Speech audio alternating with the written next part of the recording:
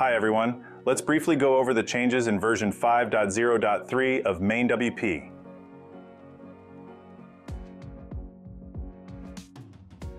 We've introduced support for the AVIF image format in post and page creation processes.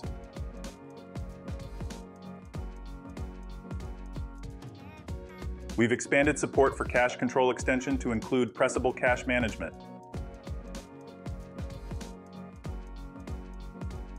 A new PHP less than 8 filter has been introduced to the Manage Sites table. We've added a dot next to any setting that's different from its default option, making it easy for you to spot any changes you've made across the entire dashboard. It's a simple tool to help you keep track of your custom settings and preferences. We've added an icon and color picker feature on the Add and Edit Site screen for setting a site icon when the site favicon is unavailable. We've added an icon and color picker feature on the Add and Edit Client screen as an alternative to using an image.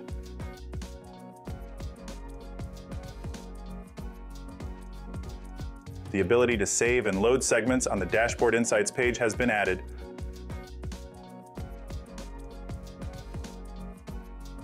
A Reset Filters button has been added to the Manage Sites, Manage Clients, Insights, and Cost Tracker pages. We've expanded extension settings synchronization support when adding a new child site for staging and Jetpack Protect extensions. We've added support for database updater information in the Updates Overview widget. A new Getting Started widget has been introduced on the Overview page, Support for boilerplate tokens and custom fields when creating boilerplate posts and pages has been added.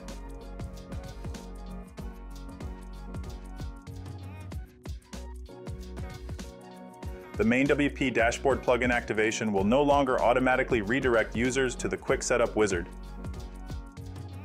The color picker in the Create Edit Tag modal has been updated to a Fomantic UI one.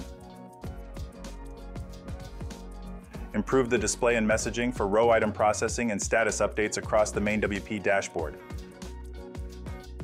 Revise success and error messages following form submissions across the MainWP dashboard.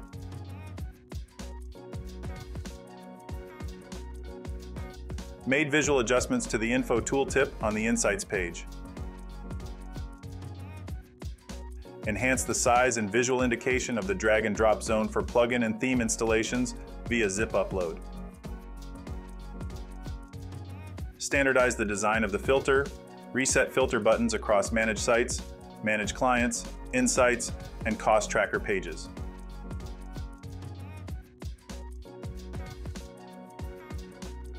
Issues with importing users through CSV uploads have been resolved. The error message that was previously truncated when attempting to reconnect a child site is now fully visible. The PHP less than 7 filter in the Manage Sites table has been corrected to function as intended. Resolved an issue where duplicate tags were displayed in the Manage Sites table due to certain filter combinations. Post subcategories sharing the same name but belonging to different main categories are now correctly displayed. Resolved a conflict with the API backups extension that caused the site addition process to get stuck on adding site. alignment and padding issues with filter elements on the Insights page have been addressed. Corrected the active menu item display on the Add New Site page. Addressed visual inconsistencies with the boilerplate new post and new page modals, Fixed an issue with the detection of GridPane sites with the www prefix in API backups. Resolved an issue with the detection of GridPane staging sites and API backups addressed a scenario where the MainWP child plugin inadvertently triggered core updates. We've fixed the detection of WP Optimized caching plugin in the cache control extension. We've fixed the last purge time not being refreshed when clearing the cache control cache.